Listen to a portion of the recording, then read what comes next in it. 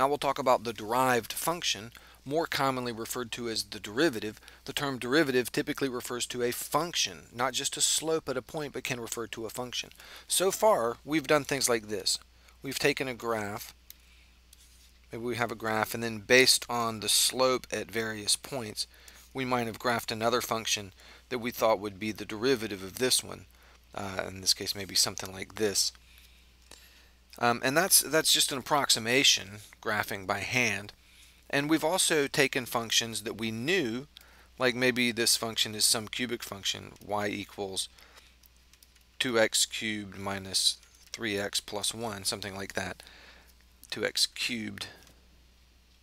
And we've used a difference quotient to find the slope at a point. But what if we want to actually find this function?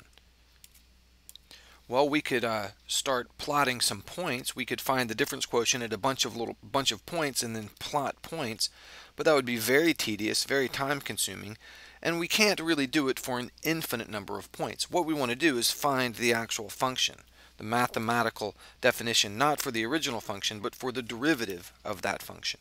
Now, it does seem plausible that such a function should exist. This function the original function has a value at any given point, but it also has a slope at any given point. So for any x value, this will have a particular slope. And the function that we're looking for, the derivative, tells us the slope of the original function at any point x.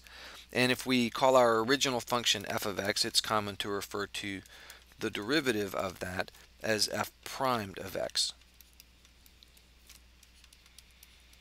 And again, that's just a notation. The little, the little prime mark, again, doesn't have anything to do with prime numbers, but it distinguishes the derivative from our original function. Now, suppose we have some function, some curve in the plane. We can think of that as being made up of a bunch of little tiny segments. Imagine a bunch of little tiny straight line segments. And each of those little segments has a slope. Now to be accurate, we need to think of this curve as being made of an infinite number of infinitely short straight line segments. And if we were to take one of these little segments, say a little tiny segment there, and we imagine calculating a change in x, and then vertically a change in y, then we can find the slope, delta y over delta x. That would be the slope of that little segment. But if this segment is infinitely short, then it's really just a point. And our delta x is 0, and our delta y would be 0, and our calculation of the slope, delta y over delta x, becomes 0 over 0. So we could find the derivative at a point by using a difference quotient and taking a limit. But how do we do this for every point? There are an infinite number of points along that graph. That is the problem. And that's the problem we're going to solve now once and for all. We will find the slope of an infinite number of infinitely small segments all at once in one elegant and brilliant maneuver here. We'll use the generic variables x and f of x, or if you prefer x and y, but these concepts can apply to any variables that can be related by a mathematical function. Distance and time, pressure and altitude, or a variety of other different variables that can be related. The technique that we're going to develop has broad and deep applicability. So we're just looking at some generic variables x and y, but these concepts apply in a host of practical applications. So here we go. All right, let's take our axes and suppose we have some curve in the plane and let's take some value x here. And let's say that x corresponds to this point which we'll call P. Now imagine some other point up here on the curve which we call Q. Now our goal is to find the slope at point P or the slope of the function for a given value of x. Now we can draw in this segment, this secant line PQ, and the word secant just means to cut. This, this secant here cuts through our original curve. We can draw that and we can find the slope, and the slope of segment PQ will be an approximation to the slope at point P. And the slope at point P is what we're looking for.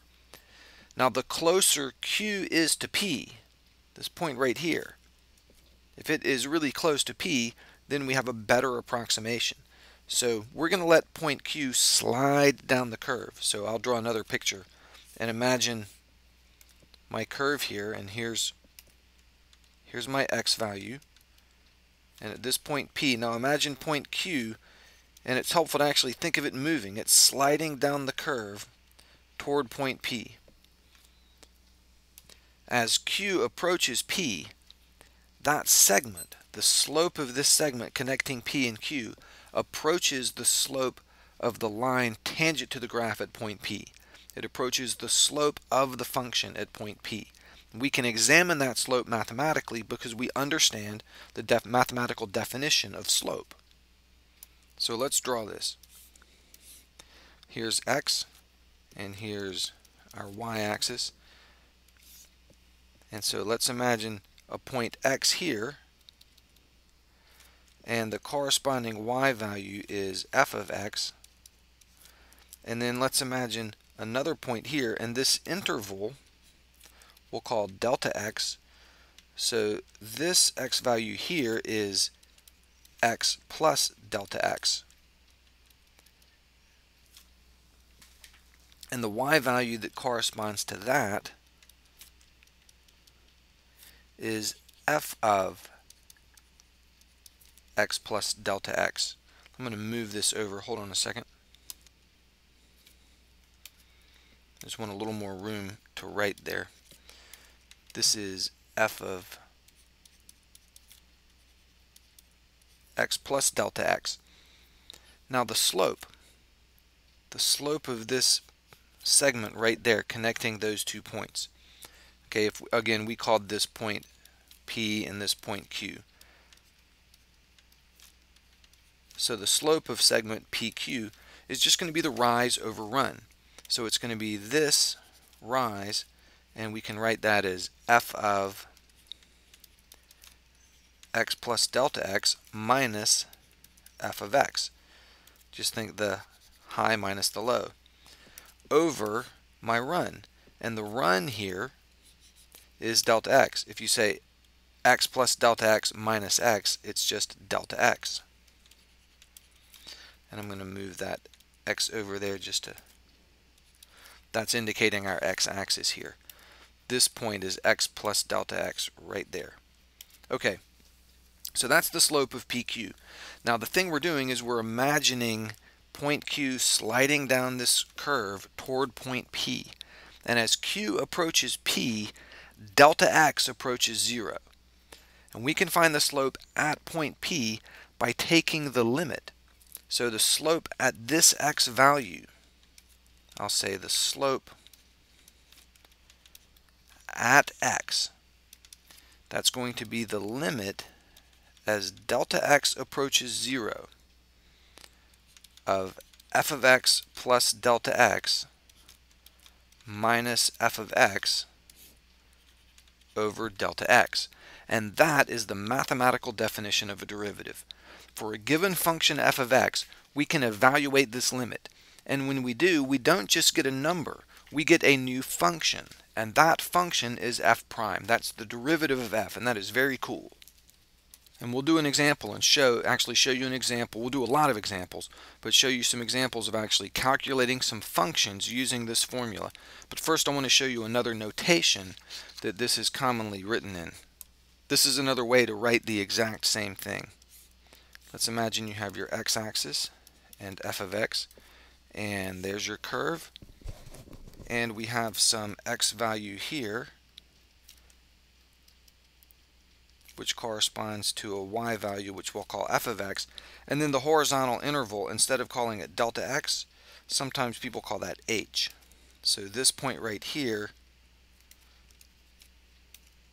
is x plus h and that corresponds to a y value of f of x plus h. And then the derivative f prime of x is going to be the limit as h approaches 0 of f of x plus h minus f of x all over h. That's the exact same thing we saw earlier, just in a different notation. We're just using the h instead of delta x. Um, the, it's just a little less cluttered to use the h instead of the delta x, but it's the exact same thing. And you should recognize this as a slope calculation. This is a rise right here over the run right there.